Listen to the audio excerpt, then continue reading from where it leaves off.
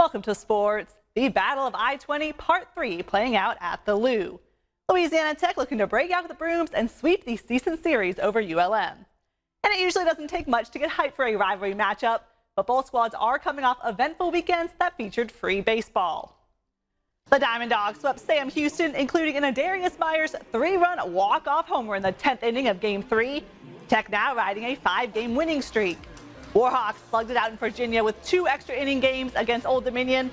ULM coming home to Monroe with one win in the series. But enough about the past. Let's get to the rivalry finale.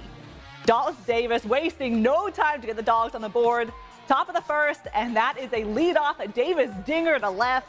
He hit a double and triple in Tech's win against ULM two weeks ago, added a single later to hit for the cycle between the two games. Solo shot puts Tech up one to nothing. Second inning, Dogs still barking. Will Stafford rockets one through the right side. Two run doubles going to give Tech the three to nothing lead. Stafford's two hit night will earn a thumbs up from the Bulldog faithful. And so will this. Top of the fourth, Cole McConnell, you can kiss that baby goodbye. His team leading 14th homer of the season. Dogs go up six to nothing. Tech scored in each of the first five innings, take a eight to nothing lead in this one. Warhawks, though, not letting the Dogs run away with it yet. They're going to get one back in the fifth on a Matt Abshire homer.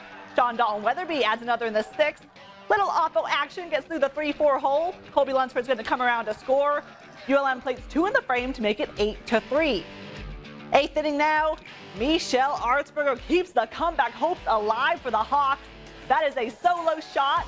Fourth home run of the night between both squads. ULM cuts the deficit in half 8 to 4. That's what Lou Sentimont likes to see, but no ULM fan wants to see this. Ethan Bates coming out of the pen for the ninth, tied for the most saves in the country at 14. And Bates, he barely breaks a sweat. One, two, three inning with a strikeout. Louisiana Tech takes game three of the rivalry series 8 to 4. The Diamond Dogs sweep the season series over the Warhawks. All nine Bulldogs in Tech's lineup record a hit. A tale of two coaches post-game re-interviews. We're extremely proud of our guys. Look, uh, ULM's playing good. They got a good team.